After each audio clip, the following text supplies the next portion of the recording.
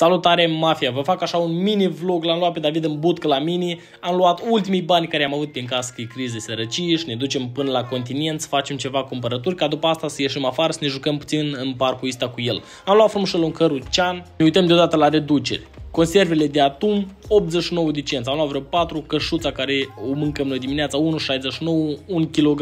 89 de cenți este fierele și așa mai departe. Niște biscuiți în stilul lor portughez, 2,45.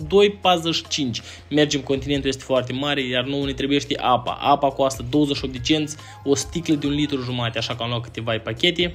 După asta, dacă vreți un vin bunișor, vă recomand vinul ăsta cu buhna, 65% reducere, vara costă 10 euro, acum e la 3,49. Avem cei mai scumpi creveți din magazin 49 și 99. Avem medii 15,99. Portughezii o au foarte bine cu 99. Durada este 5,99, iar sibasul este 8,99. Aici în Portugalia lumea se teme să rotungească 1,99, 1,99 și ceapa la fel 1,99. Ouă e foarte bine cu 99, așa că laptele încă costă 98 de cenți, iar roșiile 2,29, dar avem și de 3,99, nu cumva să fie 4, dar mă rog.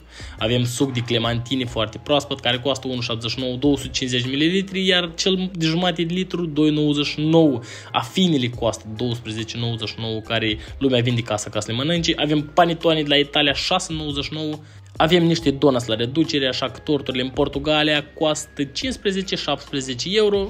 Făina nu ajunge la 1 euro, 75 de cenți kilogramul de făină. David, frumos stă și să relaxați. Ne-am pus în rând la casă pentru că aici nu există prioritate la copii. Dacă nu este vreo urgență, toată lumea trebuie să aștepte în rând ca oamenii normali. David scalbasește, iar eu vă spun că am plătit 55 și 99. Uitați-vă că și aici chiar tot cu 99 a ieșit. Așa că David nu vrea să ducem să ne jucăm la parcul de joacă, el știe că aici la intrare sunt niște mașinile care le închiriezi atunci când te duci la shopping și să te joci. Și el ține minte și vrea să le vadă și să joace vreo 5 minute acolo. Cam atât au fost ras la bonul nostru pe o oră și jumătate.